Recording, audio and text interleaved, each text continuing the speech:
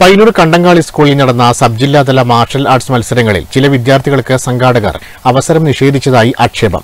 മത്സരത്തിലെ പ്രധാന ഇനമായ തൈക്കൊണ്ടോയിലാണ് തങ്ങളെ തഴഞ്ഞതായുള്ള ആക്ഷേപവുമായി ഒരു വിഭാഗം വിദ്യാർത്ഥികൾ രംഗത്തു വന്നത്.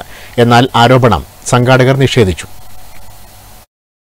കണ്ടങ്കാളി ഹയർ സെക്കൻഡറി സ്കൂളിൽ പൈനൂർ സബ് ജില്ലാതല മാർഷൽ ആർട്സ് മത്സരങ്ങളാണ് നടന്നത്.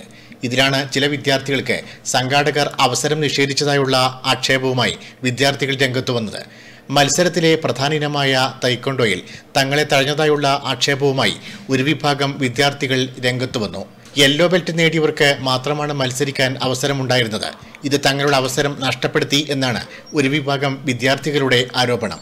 ഡബ്ല്യു ടി എഫുകാർക്ക് മാത്രമേ ഇവിടുന്ന് ചെയ്യാൻ പറ്റൂ എന്ന് പറയുന്നു. ഐ ടി എഫുകാർക്ക് യാതൊരു തരത്തിലുള്ള അംഗീകാരം ഇവർ തരുന്നില്ല.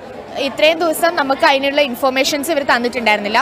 ഇന്ന് ഇവിടെ വന്നേ പിന്നെയാണ് ഞങ്ങളോട് ഡബ്ല്യു ടി എഫിന് മാത്രമേ പങ്കെടുക്കാൻ പറ്റുള്ളൂ എന്ന് പറഞ്ഞത്. സ്കൂളുകളിലേക്ക് തന്ന ഇൻഫർമേഷൻ തൈക്കോണ്ടോക്കുള്ള എല്ലാ കുട്ടികൾക്കും പാർട്ടിസിപ്പേറ്റ് ചെയ്യാനാണ്. അന്നേരം ഇപ്പോൾ സബ് ജില്ലാ സെലക്ഷന് വരുന്നപ്പോൾ അവർ ഇവിടുന്ന് പറയും കണ്ണങ്ങാളി സ്കൂളിൽ നിന്ന് പറയുന്നു നമുക്ക് ഐ ടി എഫുകാർക്ക് ഇവിടെ അംഗീകാരമില്ലാന്ന് അന്നേരം അതെന്തെന്നുള്ളൊരു റീസൺ ചോദിച്ചിട്ട് അവരത് പറഞ്ഞു തരുന്നുമില്ല. അതിന് ഒരു റീസൺ നമ്മൾ എഴുതി തരാൻ പറഞ്ഞിട്ടാകുമ്പോൾ അവരത് എഴുതി തരാനുള്ള അവർ എഴുതി തരാനും വില്ലിങ്ങല്ല.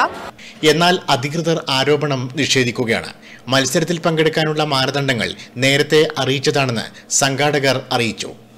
സ്കൂൾ ഗെയിംസ് ഫെഡറേഷൻ സംഘടിപ്പിക്കുന്ന ഈ മത്സരത്തിൽ കരാട്ടെ തൈക്കൊണ്ട മത്സരങ്ങൾക്കായി മിനിമം യെല്ലോ ബെൽറ്റാണ് നിർബന്ധമായിട്ടുള്ളത്.